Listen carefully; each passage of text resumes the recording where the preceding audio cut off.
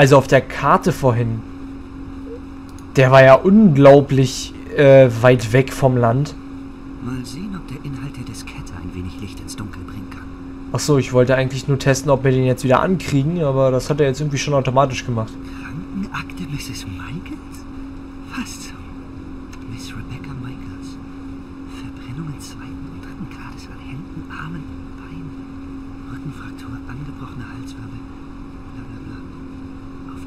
Sturzverletzung?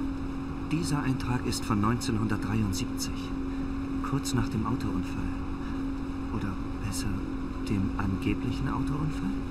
Was will Reginald Boris mit der Krankenakte meiner Mutter? Kennt er sie aus ihrer Zeit in England? Ich. Ich werde mich später darum kümmern. Erst einmal geht es um Angelina. Angelina. Angelina. Hey, Fullers Laden. Da steht jemand im Schatten. Es ist Mr. Biber. Er muss etwas über die Erpressung erfahren haben und ist ausgerastet. Und da ist Angelina. Sie geht in den Laden. Das ist der Beweis. Fuller war schon tot, als Angelina am Laden angekommen ist. Boris hat beobachtet, wie Mr. Biber Fuller ermordete. Dann muss er erst Angelina und anschließend die Polizei gerufen haben. Aber wozu das Ganze? Warum hat er sie verhaften lassen? Sie im Weg auf der Suche nach meiner Mutter? Oder mir? Ha! Guten Abend, Mr. Michaels. Sie! Sie! Bleiben Sie weg von mir! Das ist auf einem so kleinen Schiff schwer möglich. Meinen Sie nicht auch? Was wollen Sie von mir? Das ist alles recht kompliziert, glauben Sie mir. Aber wir werden genug Zeit haben, das alles zu klären. Wir beide werden eine kleine Reise machen. Das glaube ich kaum! Ah! Ich habe mich voll erschrocken. Scheiße! Ähm, können wir nicht darüber reden? Nein, Gut, das scheint der falsche Weg gewesen zu sein. Äh, oh! Äh, oh, das finde ich aber gut, dass er automatisch gespeichert hat. Daran habe ich jetzt gar nicht gedacht. Ja, äh, dann, ähm, äh, m, äh, äh, m, äh, ja, danke, dass ich so lange entscheiden durfte, was ich tue. Nochmal, angreifen.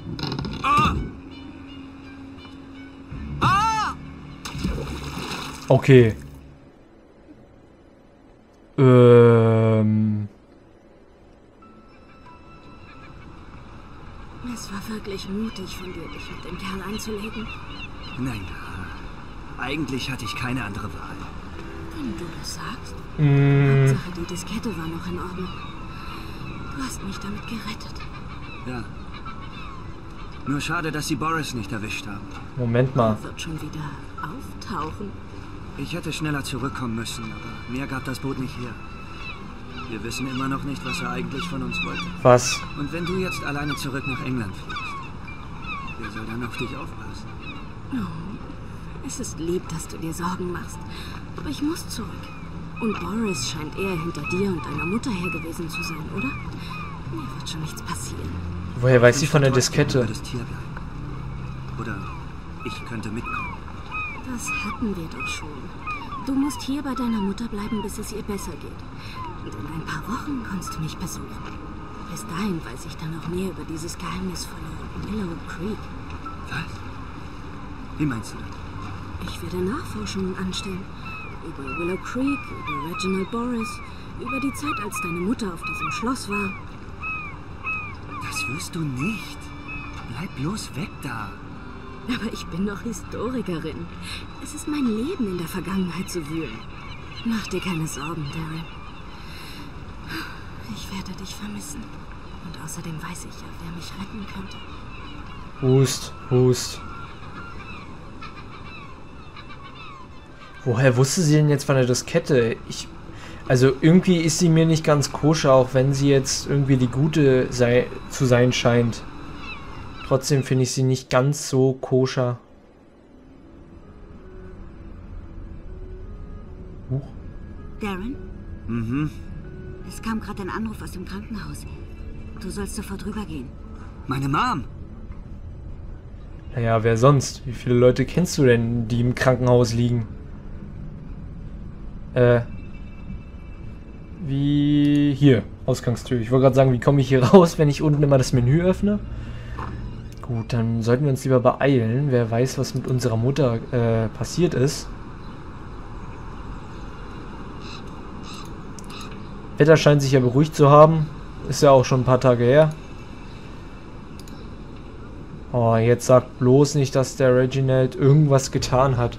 Wenn er jetzt irgendwas mit meiner Mutter gemacht hat, also mit unserer Mutter hier in dem Falle, äh, dann gibt's aber heftig was. Michaels, Arzt möchte Sie sprechen. Ist irgendwas passiert? Gehen Sie doch bitte einfach durch. Das machen wir direkt.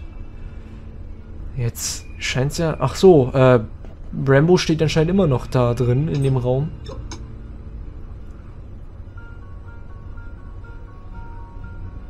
Was? Darren, ich. Wo ist meine Mom? Deine Mom ist. Das Herz deiner Mom hat heute Morgen versagt. Was? Was? Nein, das... Es tut mir wirklich sehr leid. Mom. Nein.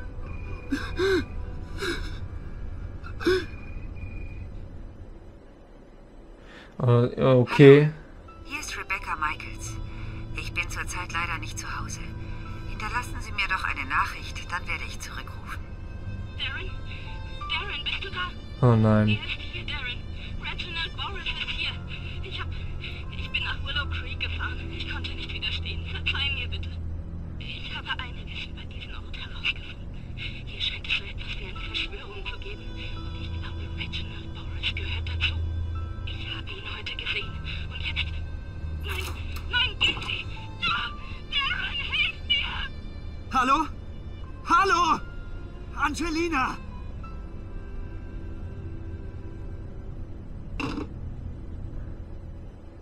Wird die Story langsam abgefuckt, mal ganz ehrlich jetzt.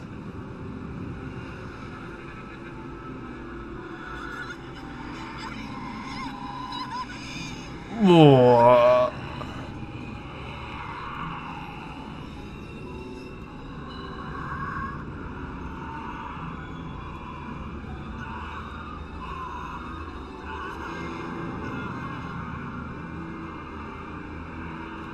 auch nicht schlecht.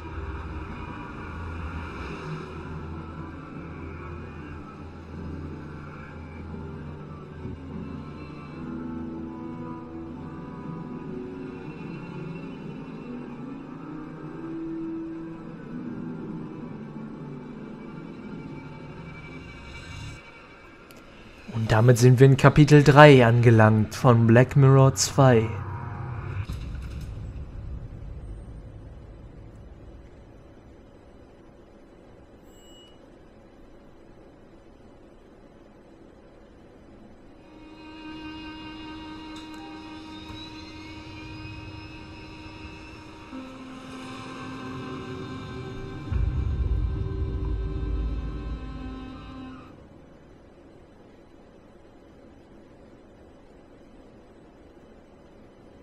Aufwachen, wir sind da. Ähm. Das ist es also. Das einzige Hotel in diesem gottverlassenen Ort. In London musste ich in den Zug umsteigen und dann noch einmal 45 Minuten im Taxi sitzen. Ich bin hier mitten im Nirgendwo. Das Dorf Willow Creek liegt ein Stück die Straße runter.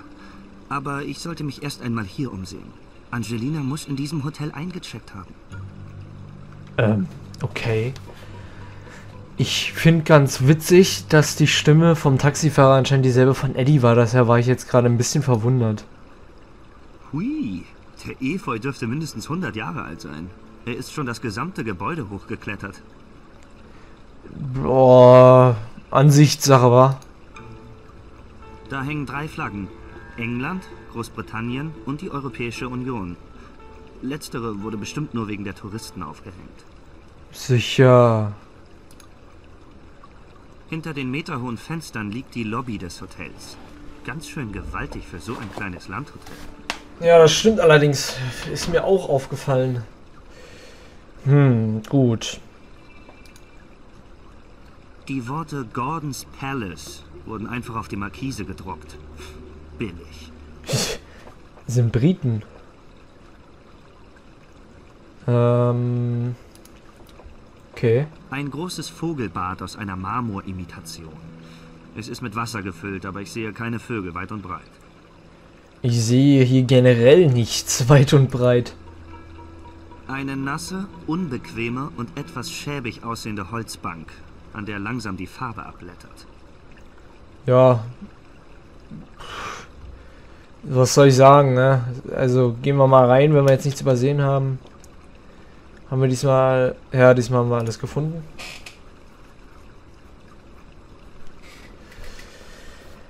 Ach ja.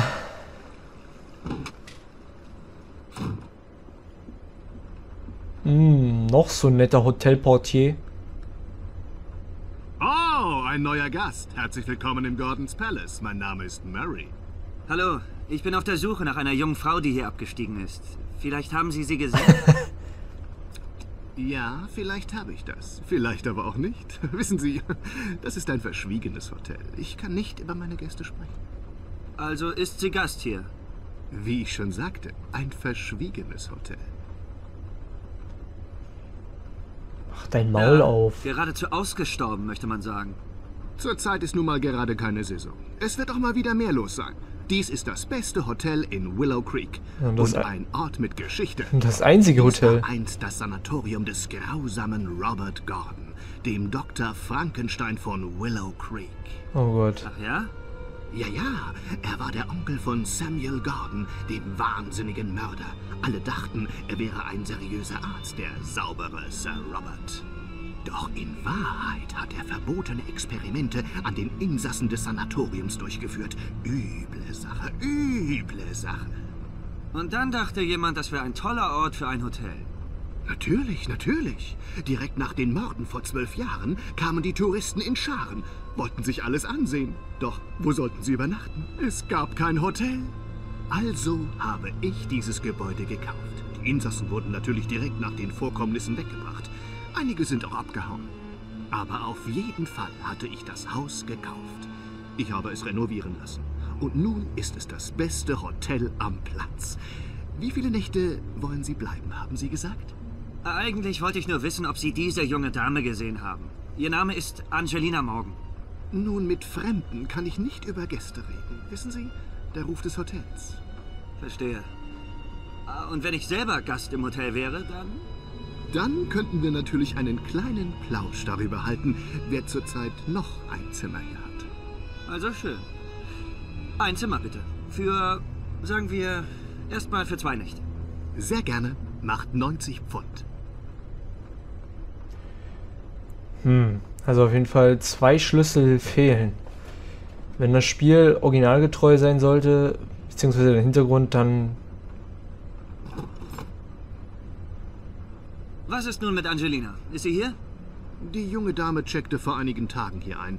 Zimmer 13, direkt neben Ihrem, Sir. Allerdings habe ich sie seit gestern Morgen nicht mehr gesehen. Danke. Zimmer 13, das ist hier den Gang runter? Ja, Sir. Sie selber haben Zimmer 12. Sie verstehen natürlich, dass ich Sie nicht in das Zimmer der Dame lassen kann. Sie wissen ja, der Ruf des Hotels. Damit bin ich schon mal einen Schritt weiter. Angelina war hier. Vielleicht finde ich Hinweise, was sie entdeckt hat und wem das nicht passte. Na, wem das nicht passte, wissen wir ja inzwischen. Vielleicht können wir den Hotelportier nicht. Gut. Dann, ja. Äh, schauen wir uns hier um. Eine Flasche mit Schnaps? Vielleicht könnte ich sie mitnehmen, wenn Mary gerade nicht hinsieht. Äh, warum das denn? Warum willst du denn Schnaps mitnehmen? Ein Ständer mit geschmacklosen Postkarten für Touristen, wie es scheint. Sie zeigen Bilder aus dem Dorf oder blutige Messer. Hier ist eine mit einer schreienden Frau. Scheint ja der Brüller zu sein. Ach du Scheiße. Billige Plastikmasken von Samuel Gordon. Messerattrappen mit blutiger Klinge. Und das Schlimmste ist, einigen meiner Mitmenschen traue ich zu, solche Dinge zu kaufen. Apropos, wo er es gerade nochmal sagt, Samuel Gordon ist ja die Person, die wir am Anfang gesehen haben. Wenn ihr noch wisst, in dem Vorspann, die Frau, die ihn gesucht hatte, war ja, ähm, na, seine Frau. Und die hat er ja umgebracht, weil er ja irgendwie in Trance war. Mary scheint gerade etwas gegessen zu haben. Ich schätze, er ist der einzige Angestellte in seinem Hotel. Also kann er seinen Platz hinter dem Tresen nicht einfach verlassen, um essen zu gehen. Das Messer ist noch unbenutzt. Ich pack's ein. Vielleicht kann ich es ja noch gut gebrauchen. Das Messer? Okay. Interessant. Eine ganze Reihe altmodischer Schließfächer. Obwohl sie nur aus Holz sind, dürften sie nur schwierig aufzubrechen sein. Ja, kann ich mir vorstellen. Einer der Schlüssel gehört zu Angelinas Zimmer. Nummer 13 ist es. Aber ich komme nicht an die Schlüssel heran.